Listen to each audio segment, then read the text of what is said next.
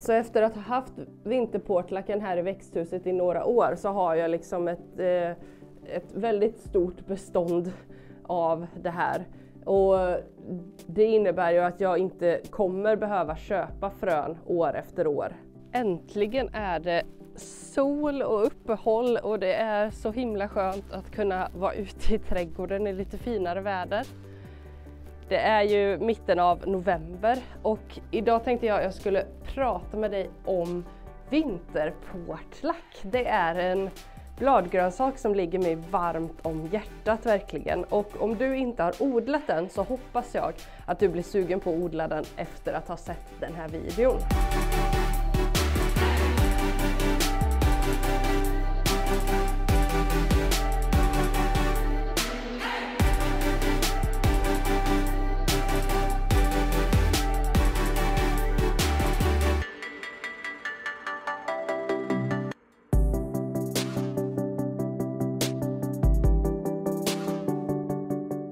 Om du och jag inte känner varandra så heter jag Lovisa och jag har den här kanalen Glädjens odling där jag pratar om odling i min trädgård i zon 5 i Sverige. Idag är jag lite förkyld om du undrar varför jag låter lite annorlunda än vad jag brukar göra. Okej, men här inne i mitt glasväxthus har jag ju vinterportlack, väldigt mycket vinterportlack. Jag sådde vinterportlack i tunnelväxthuset förra året men den tog sig faktiskt inte alls lika bra som den gjorde här inne så därför så har jag inte sått den i tunneln i år utan ah, sått den i glasväxthuset.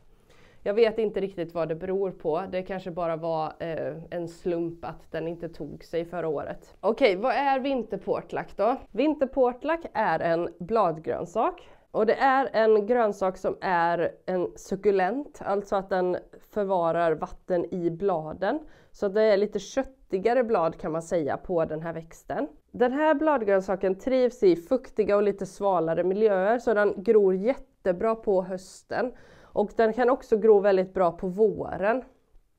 Och då är det tidig vår som jag tänker på, inne i ett växthus till exempel.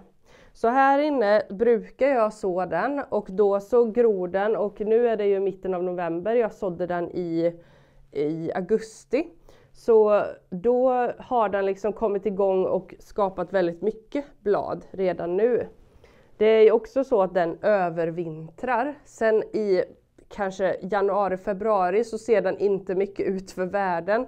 Så jag brukar inte plocka så mycket, i alla fall inte i januari för där, då är den för dålig. Då har den liksom bara eh, säckat, säckat ihop.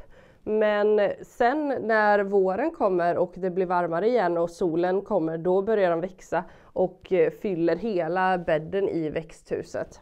Precis som andra bladgrönsaker så är ju den här rik på C-vitamin och man säger också att gruvarbetare i Kalifornien eh, åt den här, det, det är därför den också kallas för gruvsallat.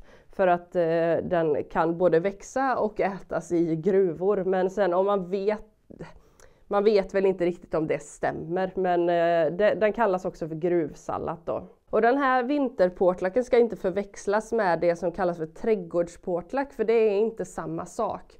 För den tål inte minusgrader alls, då kommer den eh, säcka ihop totalt. Den här är den härdiga, den som har namnet vinter i sig. Jag har bara odlat vinterportlack i mina växthus. Jag odlar den inte ute på friland, men det kan man göra och då sår man fröna i kanske april, maj där någon gång och så kan man eh, skörda blad sen typ två månader senare ungefär.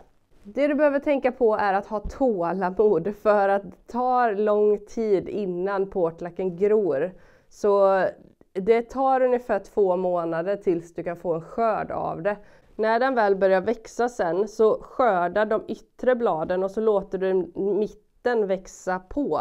Så precis som du gör med en vanlig sallad eller så, så kommer du få skörd under lång tid jag upplever att jag har tillräckligt med andra bladgrönsaker så jag behöver inte odla vinterportlacken utomhus eh, under eh, sommarhalvåret utan det räcker med att den är ersättare för salladen som inte kan växa utomhus på vintern så kan den här växa här inne då. Det som är väldigt positivt med vinterportlack och anledningen till att jag gillar den så väldigt mycket är för att den är väldigt mild. Andra bladgrönsaker som jag odlar här i växthuset just nu, de har ganska peppriga smaker eller kolsmaker och det är inte alltid att barn gillar detta, men det här kan de mumsa i sig hur mycket som helst. Det, det smakar som isbergssallad om jag skulle beskriva smaken, det är ganska vattnigt och fräscht. Så därför så är den här väldigt bra också just för att man kan eh, både plocka den lite grann när man är ute i trädgården så kan man gå in hit och plocka lite eller så kan man ha den som en eh, sallad till maten. Och att barnen då uppskattar det, för det är ju en bra grej när, när man får i de små lite grönt. Vinterportlaken har en väldigt liten rot så den är väldigt lätt att rensa bort.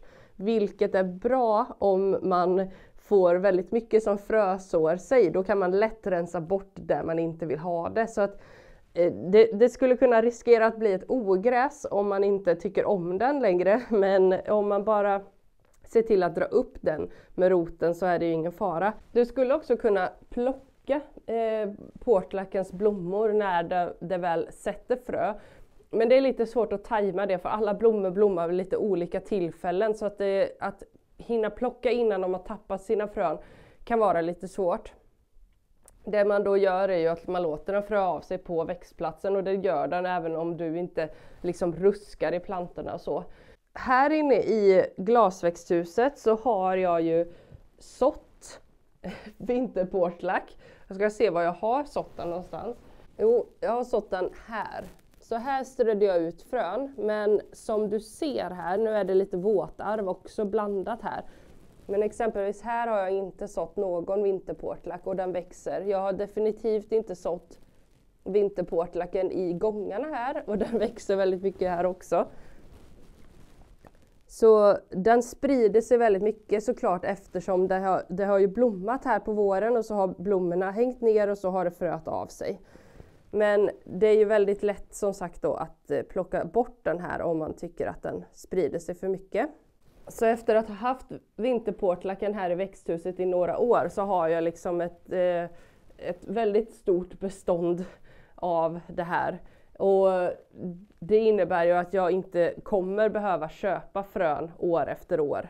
Sen i april så rensar jag bort alltihop för då har det vuxit för mycket. Man kan också äta blommorna och det är väldigt trevligt att ha på en macka eller så på våren. Och eh, då är de ju lite större de här bladen, då är de inte så hjärtformade som eh, man skulle kunna tycka att den här är då. Så man kan äta portlacken när den blommar. När den har blommat ungefär en vecka eller så, då börjar det bli dags att rensa bort för då börjar bladen bli både gula och rosa och ja, lite missfärgade och eh, texturen blir också lite grövre, den är inte lika fräsch eller så att äta. Så då bara eh, rensar upp alltihop här, ger det till hönorna och sen så har den fröat av sig inför nästa år.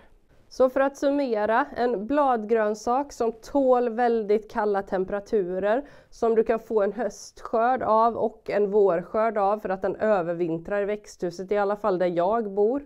Rik på C-vitamin, gillas av barn, frör av sig lätt. Uh, eh, ja, en superbra bladgrönsak att odla. Så om du inte har provat det så tycker jag verkligen att du kanske kan så en påse till våren här i ditt växthus eller i en pallkrage med lock och se om du kan få någon skörd. Om du vill se videon om när jag sådde här inne inför hösten så länkar jag den här bredvid så kan du titta på den härnäst och se vad andra typer av bladgrönsaker som jag odlar här inne i glasväxthuset nu den här säsongen.